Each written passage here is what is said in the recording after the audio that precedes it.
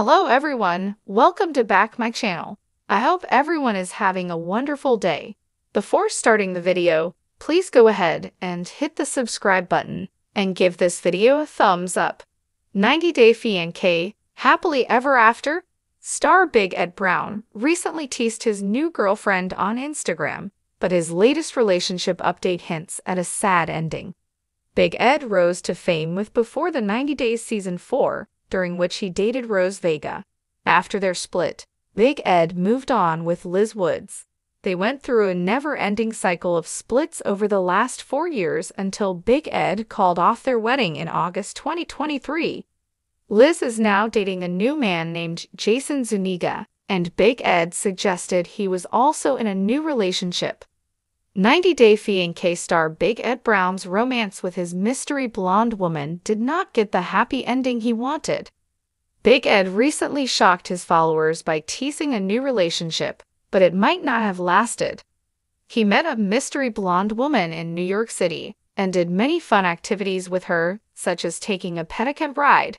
However, after several posts, it was time for Big Ed to bid goodbye to the Big Apple and, seemingly, his new partner.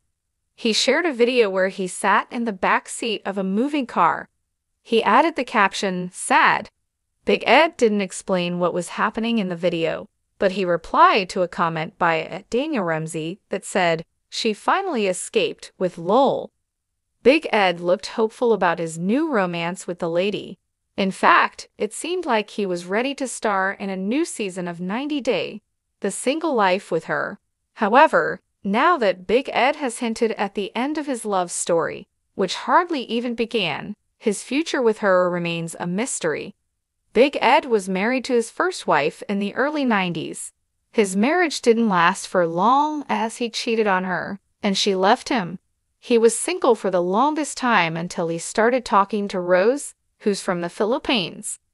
Big Ed had no experience in how to behave in a relationship. He kept lying to Rose, thinking that she would accept his flaws because she wanted to escape poverty. However, Big Ed was wrong about her. He found a victim in Liz, who kept giving him multiple chances despite his misdeeds. She knew he wasn't right for her, and she could have done much better than him. Still, Liz wanted to prove that their love was for real. She kept fighting for him. Now that Liz is gone, it'll be hard for Big Ed to find her replacement. Big Ed is going to be a sad, lonely man for the rest of his life, like Liz's mother said on 90 Day Fiancé. Happily Ever After Avon Therapy has not been able to help Big Ed look inward and know that he is the problem in all of his relationships. He might find someone to date considering he is famous, and they might be looking for publicity. It doesn't mean that they will love Big Ed and that he will ever develop feelings. Big Ed is incapable of loving someone else other than himself.